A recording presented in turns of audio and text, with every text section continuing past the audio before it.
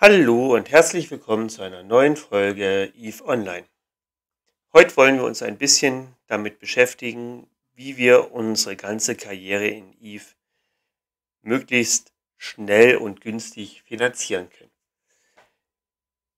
Wie wir alle wissen, ist, ja, verliert man in Eve häufig mal sein Schiff, hat, ja, muss Munition kaufen und so weiter, will vielleicht ein teures Schiff fliegen oder ja, was auch immer.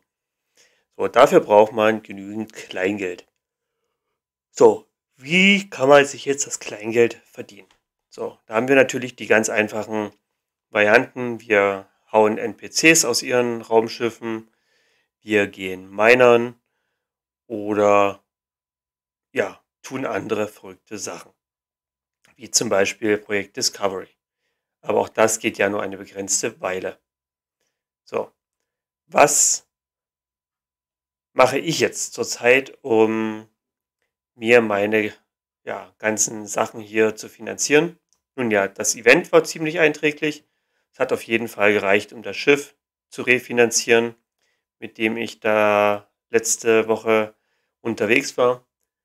Da habe ich, ich glaube, ca. 200 Millionen ISK jetzt mittlerweile insgesamt gemacht habe ein paar Sites geflogen, hatte also nicht den ganz guten Loot, sondern immer nur so durchschnittlich, aber war schon okay.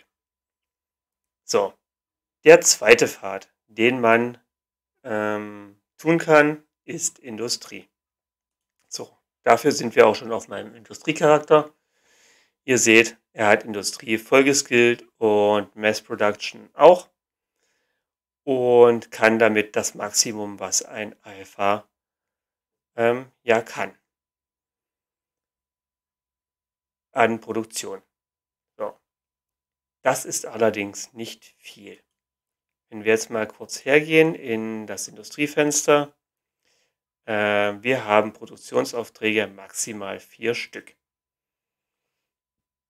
Ist jetzt nicht so sonderlich viel.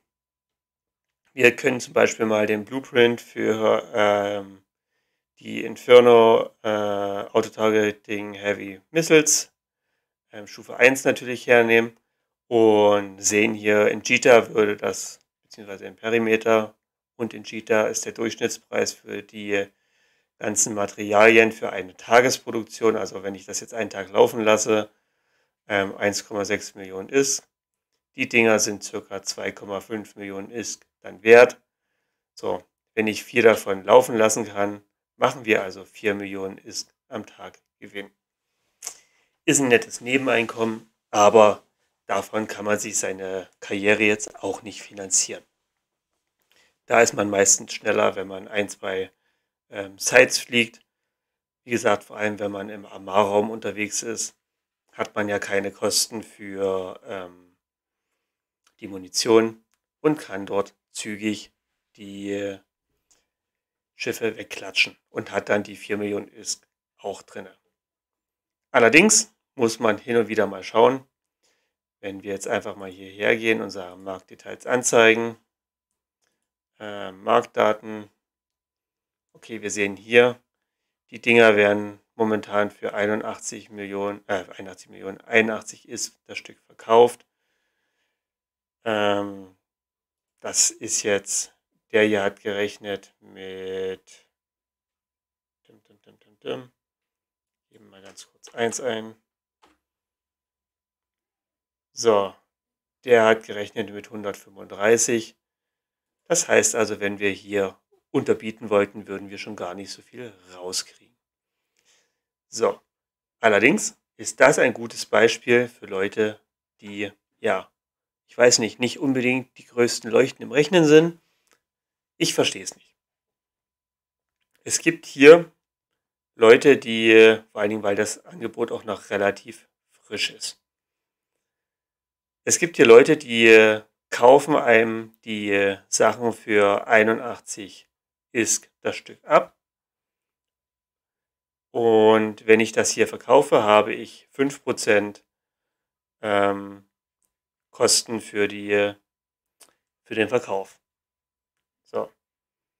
Wenn ich das reinstelle als Verkäufer, habe ich die 5% plus die Maklergebühren, die ja, je nachdem, wie gut man mit der Fraktion ähm, auf dem Fuß steht, nochmal so um die 5% sind.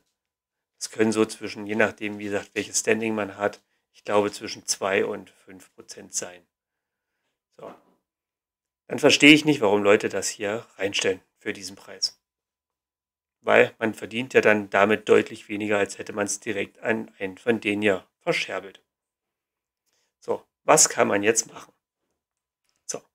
Also, wenn wir jetzt nun ja hergehen wollten und würden sagen, okay, wenn wir das Ganze für 81,7 ISK kaufen und danach wieder für einen Preis von 139,9 oder 8, weil wir müssen ja das etwas unterbieten, ähm, ISK reinstellen, verdienen wir dann noch genug Geld. So, das ist jetzt die gute Frage und da können wir uns jetzt mal wieder mit unserem Lieblingsprogramm beschäftigen. Das nennt sich Excel. So. Und zwar habe ich in Excel eine kleine Tabelle angefertigt. Wie gesagt, wer Eve spielt und das Ganze ein bisschen gewinnorientiert macht, wird früher oder später auf ähm, dem auf Excel oder OpenOffice oder wie sie auch immer heißen, ähm, ja, landen. Und wir können uns dann ähm, einfach mal angucken, okay, wir würden das Zeug jetzt hier verkaufen für 139,8 ähm, ist. Wir würden es kaufen für 81,71 ist. Wir haben eine Menge von 12.900. So. Wir sehen jetzt, uns hat das Programm ausgerechnet. Also das ist eine ganz simple Rechnung. Wir ziehen hier die 5% ab, die wir beim sofortigen Verkauf ähm, haben würden. Hier haben wir den Abzug nach, äh, hier haben wir den Abzug nach 5%, also wenn wir sofort verkaufen könnten. Hier haben wir den Abzug nach ähm, 10%, also rund 10%, wie gesagt, bei mir, wenn wir das wieder als Verkäufer verkaufen. Und das ist der Gewinn für nach Abzug 5% im Moment. Und dann müssten wir das Ganze jetzt hier noch ähm, mal daneben für die 10% machen. Und zwar wäre das dann nicht J, sondern K. So. Zack. Und ihr seht, wenn wir jetzt hingehen würden, das Zeug einfach kaufen und dann wieder als Verkaufsorder für mehr Geld reinstellen, würden wir hier fröhlich ja, 600.000 oder reichlich 500.000 ISK machen. Ist jetzt auch nicht viel in dem Moment. Und man braucht natürlich erstmal eine Menge Kapital. Was wir, also hier 1,8 Millionen, ist schon mal eine kleine Hausnummer. Aber man macht damit ordentlich Gewinn, wenn man immer mal wieder die wichtigsten Sachen durchschaut. Weil wie gesagt, die Sachen, die günstig produziert werden können, werden häufig ähm, auch unter Preis verscherbelt. So. Also würde ich jetzt in dem Fall die Sachen kaufen und wieder als Verkaufsorder reinstellen für 139,8 und wir hätten dann damit einen kleinen Gewinn gemacht. So. Des Weiteren, wie kann man jetzt noch Geld verdienen? Also das Station Trading immer mal wieder durchgucken, wenn ihr gerade in Jita oder Umgebung seid. Hin und wieder lohnt es sich wirklich. Es gibt manchmal Sachen, ja, wo man es einfach nicht begreift. Wo teilweise hier ähm, Sachen drin sind, die den gleichen Preis haben wie hier, aber dann die Verkäufer, die das Zeug richtig gewinnbringend verkaufen wollen, plötzlich für ja den vier-, fünffachen Preis das Zeug eigentlich nur verkaufen. Und man hat dann hier so Schnäppchenangebote. Wie gesagt, das ist jetzt ein ganz kleines Beispiel. Schaut immer mal wieder rein, schaut durch und ja, verdient euch damit eine goldene Nase. Genau, als nächstes möchten wir uns mal angucken, was ähm, ein guter, ja, womit ich in letzter Zeit sehr gut Geld verdient habe. Und zwar ist das der Verkauf und Kauf von Erzen. So, wir sehen hier die Käufer und die Verkäufer sind ungefähr auf dem gleichen Level. Also da ist jetzt wirklich kaum Unterschied. Außer der große Batzen hier, aber der ist neun Sprünge weg. Und wir können ja mal aus spaßeshalber Kurssätzen machen. Ja, okay, ist wenigstens nicht durch ein Lossegebiet oder sowas. Aber ob sich das lohnt, müsste man jetzt erstmal sehen. So, aber wie krieg, kann ich jetzt, wenn, ich die, wenn ihr die Liste seht, wie kann man jetzt hiermit Geld verdienen?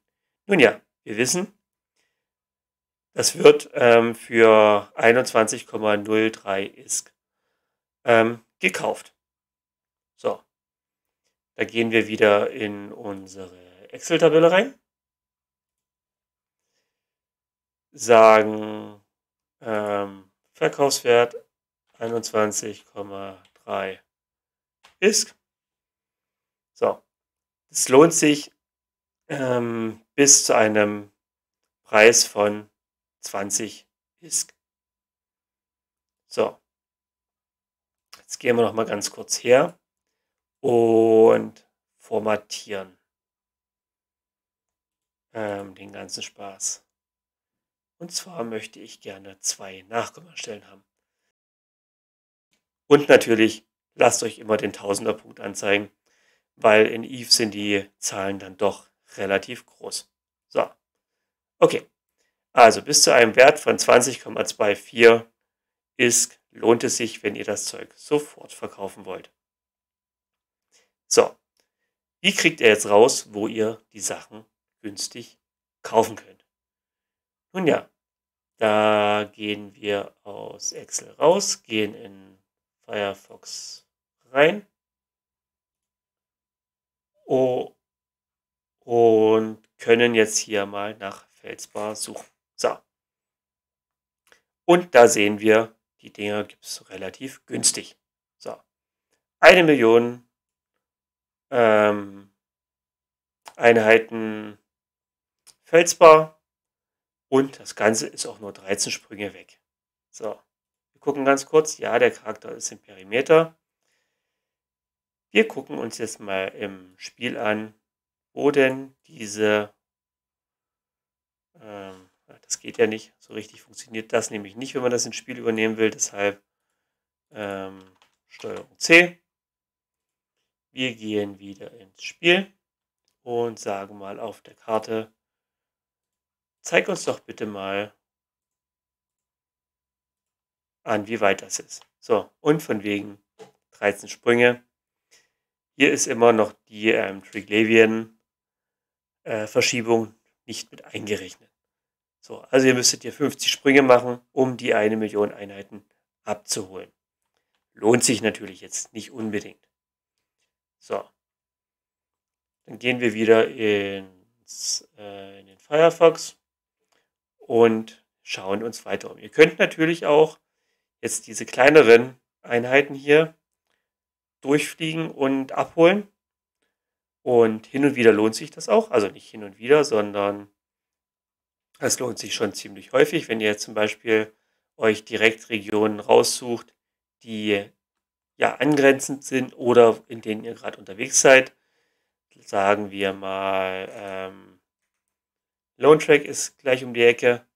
Da seht ihr, es gibt eine ganze Menge ähm, Material bis zu einem Preis, wo es sich auch zu kaufen lohnt. Da könnte man jetzt in Lone Track einfach rumfliegen und die ganzen Sachen einsammeln. So. Was ist jetzt unser Problem? Nun ja, 158.000 äh, Einheiten Felsbar.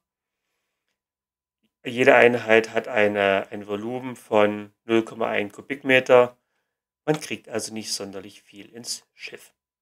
Also bei den ähm, Erzfrachtern, die es gibt, hat man einen Frachtraum von, wir haben hier gerade einen 46, äh, 46.000 ähm, Kubikmetern. Das heißt, bei 460.000 ähm, Einheiten Felsbar wäre Schluss. Ist jetzt nicht so der ganz große Gewinn. So.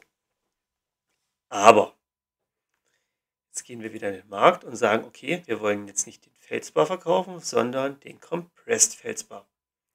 Und ihr seht, der ganze Spaß ist sogar noch eine kleine Ecke Mehrwert. So, auch hier sind die Preise sehr nah beieinander. Also es lohnt sich hier auch nicht, ähm, die Sachen als Verkäufer reinzustellen. Die kann man direkt verkaufen. So, und 100 Einheiten Felsbau ergeben eine Einheit Compressed Felsbau. So, deshalb suche ich mir jetzt immer große Quantitäten raus im Eve Marketer, fliege dorthin, kaufe die und mache dann den Strukturbrowser auf. So, ähm, den findet ihr unter Hilfsmittel. Könnt ihr euch auch hier in die Liste ziehen, habe ich auch so gemacht, weil ja, das ist mein Industrie- und Handelcharakter. Der ja, braucht das öfter. So, hier seht ihr jetzt alle Stationen, die in eurer Gegend sind. Ich habe jetzt mal hier alle Anlagen anzeigen lassen und hier habt ihr zum Beispiel eine Anlage, die den Dienst Aufbereitung hat. Das ist euer Freund. Wenn ihr jetzt dorthin geflogen seid, wo ihr das gekauft habt, macht ihr den Strukturbrowser auf und guckt, wo in der Nähe eine Anlage mit Aufbereitung ist. Und dort schafft ihr das ganze Zeug hin. Jetzt diese eine Million ähm, Einheiten Felsbar zum Beispiel. So, die schafft ihr alle dorthin. Und in dieser Station könnt ihr die Sachen komprimieren. Das ist natürlich, das ist kostenlos, dieser Dienst. Im Moment noch. Und damit ja, schrumpft ihr das erheblich zusammen und könnt damit mehr aufnehmen. Das heißt, ihr würdet also die Millionen Einheit, äh, Einheiten Felsbar ähm, auf 10.000 Einheiten ähm, Compressed Felsbar zusammendampfen und die könntet ihr dann den langen Weg nach Cheetah schaffen. So, das macht ihr jetzt natürlich nicht für eine Million Einheiten. Das lohnt sich nicht. Und vor allen Dingen nicht bei 50 Sprüngen. So, jetzt ist natürlich die Frage, alles klar. Die, jedes Erz hat verschiedene Reinheitsstufen, zum Beispiel den Dense Felsbar. Ihr seht, der ist auch in etwa dasselbe Wert und davon gibt es auch die Compressed-Variante. Die ist sogar etwas mehr wert. So. Das Ganze könnt ihr euch jetzt, also ich gehe immer davon aus, ich hole mir den, das Einfache, sage, okay, circa 21 ähm, ist, also 2100 das komprimierte. Und dann gehe ich die ganzen ähm, Dienste oder die ganzen Reinheitsgrade durch, bis ich irgendwo größere Einheiten finde. So, wir gehen wieder alle Regionen, sagen nochmal Felsbau suchen. So. So, bis 20 circa hat es sich gelohnt. Hier haben wir zum Beispiel 9 Millionen Einheiten in ähm, Domain liegen. Das sind auch rund 45 Sprünge. Muss man jetzt wissen, ob man das machen will. Es geht zum Glück nicht durch Losec-Gebiete Richtung Domain. Also kann man das schon machen. Es geht allerdings durch einige 05er Systeme, wo seitdem, ja, seitdem die Strecke nach äh, zwischen Gita und Amar so weit ist, dort hin und wieder Ganoven hocken. So. Andererseits könnt ihr dann hier alles durchgucken und sagt, alles klar, dort unten gibt es jetzt auch Kado ist da unten nicht weit weg ähm, günstig noch mehr Zeug zu kaufen oder hier in Lohnträg ähm, für also 1,3 Millionen Einheiten für 18 ISK. Das würde sich auch schon lohnen. So. Und so kann man sich dann seine Route zusammenstellen. Ähm, von Stable gibt es, glaube ich, keine Compressed-Variante. Genau. Densed äh, und Concentrated gibt es noch. Genau. So, da haben wir hier auch wieder in Lone Track ähm, eine größere Menge. Allerdings habe ich schon mittlerweile mitgekriegt, man kennt dann seine ähm, ja, Schweine am Gang. Dieses System liegt hinter einer Losec-Blase. Also ihr habt ein 04er oder 03er System, bevor ihr dorthin kommt. Macht sich mit einem Frachter nicht so gut. Also, man kann das machen, sollte aber allerdings immer aufpassen, dass man da dort nicht gegenkt wird. Sonst ist das ganze Geld weg. So. Das ist ein großer Batzen, der sich momentan lohnt. Also nicht das hier, sondern wenn man das jetzt mit den gängigen ähm, ja, Erzen macht. So. Plagial Glaze. Zum Beispiel seht ihr hier ähm, Buyers in Jita bezahlen 86, sagen wir mal 4 weg, also 82. Rund wird, also bis dahin lohnt es sich, oder sagen wir alles, was kleiner ist als 80. Und da gibt es hier schon einige Angebote. Jetzt auch nicht so groß, weil der Markt in letzter Zeit auch ziemlich abgegrast ist. Aber ihr könnt ja mal alles durchgucken. Hier haben wir zum Beispiel wieder 200.000 Einheiten. Genau. Also da muss man dann halt immer mal durchschauen. Hin und wieder hat man wirklich Glück und findet riesige Quantitäten. Letztens hatte ich, glaube ich, irgendwas bei um die 10 Millionen Einheiten, die jemand relativ kostengünstig verkauft hat. Allerdings, und da schauen wir nochmal ganz kurz ins Excel-Formular rein, hat das Ganze natürlich auch seine Schattenseiten.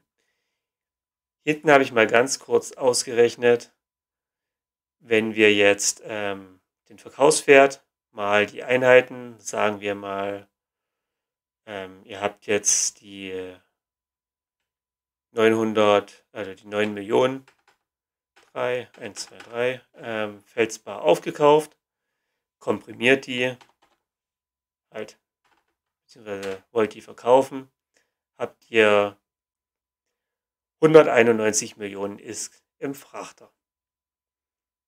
Passt dort immer auf, wo ihr, wie weit ihr fliegen müsst, weil wenn man zu viel ähm, Geld im Frachtraum hat, wird man schnell mal abgeschossen. Vor allem, wenn man in Gebiete wie Cheetah hineinfliegen will. Genau. Was sich auch noch ganz gut macht, ähm, sind Sachen wie zum Beispiel ähm, Munition. Die werden von vielen Leuten günstig irgendwo produziert. Und ja, die haben dann keine Lust, das Ganze irgendwo hin zu transportieren. Und da kann man dann auch ein bisschen Geld machen. Guckt euch immer an, äh, wie die Verkaufspreise sind. Meistens sind, wenn ihr hier oben auf Buyers klickt, die Sachen in Jita steht meistens ganz oben, weil in Jita hat man die höchsten Preise von den Käufern. So, das ist jetzt gerade ein schlechtes Beispiel. Aber hier seht ihr zum Beispiel 15 Stück 1,9 Millionen. In Jita würdet ihr 2,5 dafür bekommen. Wenn ihr euch ins Nullsec vorwagen wollt, könntet ihr die Sachen holen. Wie gesagt, schaut euch auch die äh, einfachen Sachen an, die Standard. Ähm, ja, Raketen zum Beispiel. Wenn ich hier sehe, in Dodixi 4,5 ähm, ist, in Ultra kriegt ihr dafür 12 beziehungsweise dann hier sogar 6. Und das sind größere Quantitäten, also hier könnte man schon ein bisschen Geld verdienen, indem man das Zeug einfach hin und her karrt. Wie gesagt, haltet da immer die Augen offen. Es gibt relativ viele Möglichkeiten, hier Geld zu verdienen. Und ja, wie gesagt, es gibt auch ganz viele Leute, die nicht unbedingt sehr schlau auf den Märkten agieren oder es einfach auch nicht besser wissen. Aber in Eve gilt immer, wer einen Fehler macht, wird dafür bestraft. So. Zusätzlich, wo ihr auch noch ein bisschen Geld mit verdienen könnt, sind die Verträge. Ähm, Kurierverträge bringen auch immer schöne Belohnungen und sind relativ risikofrei. Wie gesagt, geht immer äh, hin und schaut, wie viele Sprünge sind und ähm, lohnt es sich da überhaupt hinzufliegen. Weil zum Beispiel das Ding hat angeblich, die Route sind nur drei Sprünge, aber bis ihr da seid, habt ihr erstmal 47 Sprünge hinter euch zu bringen. So. Ihr könnt natürlich auch immer die Sicherheiten hier erhöhen. Ich wollte jetzt nicht mehr als 100 Millionen ist ausgeben, aber wenn ihr jetzt mal sagt, okay, mir ist das egal, ich möchte bis 500 Millionen ist, ja, dann gibt es hier schon teilweise noch höhere Angebote. Wenn ich hier sehe, Cheetah nach Hatakani, ähm, ja, Sicherheit 100 Millionen, aber man kriegt 8 Millionen ist für 8 Sprünge. Hm, ist das jetzt schon nicht ganz schlecht. So, wenn ich jetzt mal hier den Kurs zur Abholstation setze, weil, nein, halt zur Zustellstation, Entschuldigung, Cheetah ist natürlich nur einen weg. Ja, hat man hier einen relativ kurzen Weg.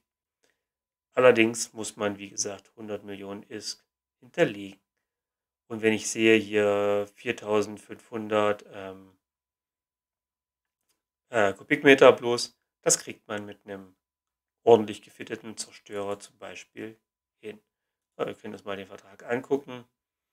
So. Ziel ist ein ähm, eine keine Spielerstation, das ist schon mal gut, weil bei Spielerstationen sind oft, ähm, ist oft das Problem, dass ähm, ihr nicht reingelassen werdet und die Leute sich dann diebisch freuen, dass sie eure, dass ihr den Auftrag nicht abschließen könnt und dann eure 100 Millionen ISK behalten können und dafür aber nur sehr wenig in dieses Päckchen reingepackt haben, was euch dann zufällt. Hin und wieder wurde früher sowas mal gemacht mit einem Tritanium. Man hat die Leute dann ein paar Sprünge geschickt zu einer Station, die von Spielern kontrolliert wurde und hat sie dort nicht andocken lassen. So. Das hier zum Beispiel ist ein Vertrag, wie man ihn durchaus mal machen könnte. So, wenn man gewillt ist, die Sicherheit zu geben. Weil werdet ihr abgeschossen, ist natürlich die Sicherheit auch weg. So, ob ich den machen würde, wegen 5 Millionen ist, äh, 24 Sprünge, muss ich ehrlich sagen, weiß ich nicht. Aber es gibt ja noch genug andere.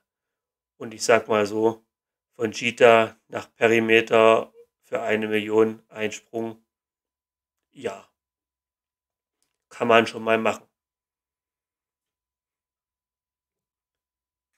Damit kann man sich auch noch ordentlich Geld nebenher verdienen. Aber wie gesagt, der Handel mit ähm, Waren, die ihr nach Cheetah bringt, bringt wesentlich mehr. Und damit habe ich in letzter Zeit auch wirklich viel, viel, viel Geld verdient. Also ich habe es mittlerweile geschafft, den Account hier, also genug Geld für Plex zusammenzukriegen für, ich glaube, fünf Monate. Das ist erstmal schon nicht schlecht. Zurzeit habe ich leider nicht so viel Zeit zum Spielen, sondern schaue mir mal bloß wieder kurz vorbei, fliege ein paar Routen hier ab oder wenn ich mal kurz Lust habe, schieße ich ein paar NPCs ab. Aber ganz häufig bin ich jetzt eigentlich momentan am Handeln. Und ihr werdet selber merken, ihr fangt dann irgendwann an, wie ich, solche Listen euch zusammenzubasteln.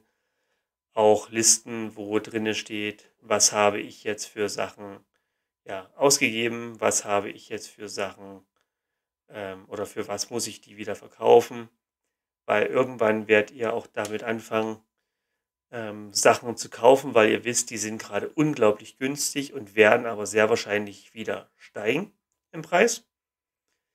Ähm, hin und wieder sind das zum Beispiel irgendwelche bestimmten Waffenarten. Ähm, Munition ist sehr häufig ähm, im Wechsel dabei. Wie gesagt, jetzt hatten wir hier die, das Guristas-Event, wo zum Beispiel die Scorch-Raketen wieder sehr effektiv waren. Da sind die im Preis etwas gestiegen. Irgendwann kommt wieder ein Event, wo die Inferno-Raketen oder die Inferno-Munition deutlich teurer oder nützlicher ist. Dann wird die wieder etwas teurer. Und so schwankt das Ganze fröhlich hin und her. Also wenn ihr das Geld jetzt nicht sofort braucht, ist es auch manchmal ganz gut, einfach kleinere und auch größere Chargen aufzukaufen, zu warten, bis sich der Preis wieder erholt hat und dann wieder zu verkaufen. Ein sehr gutes Beispiel dafür ist auch ähm, der Plex.